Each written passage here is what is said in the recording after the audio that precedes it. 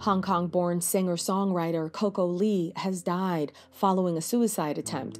Her death was announced by her older sisters Carol and Nancy Lee, who explained in a statement on Facebook and Instagram that Coco had been experiencing depression for several years, but over the last few months, her condition deteriorated drastically. They said that even though Coco had sought professional help and did her best to fight depression, the quote, demon inside of her took the better of her.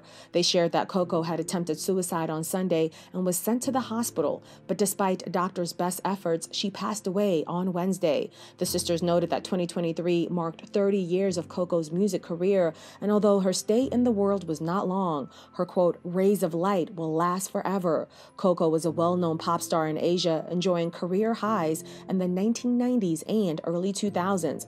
According to Reuters, she signed with Sony Music Entertainment in 1996, and her debut album, Coco Lee, became the best selling album album in Asia that year. Her single, Do You Want My Love, also made it onto the US music charts.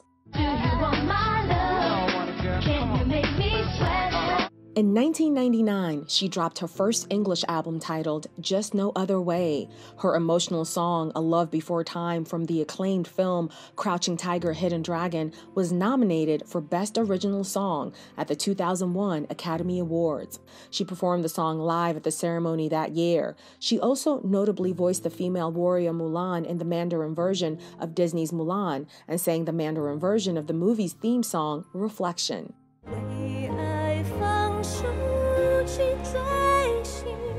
Coco Lee was 48 years old.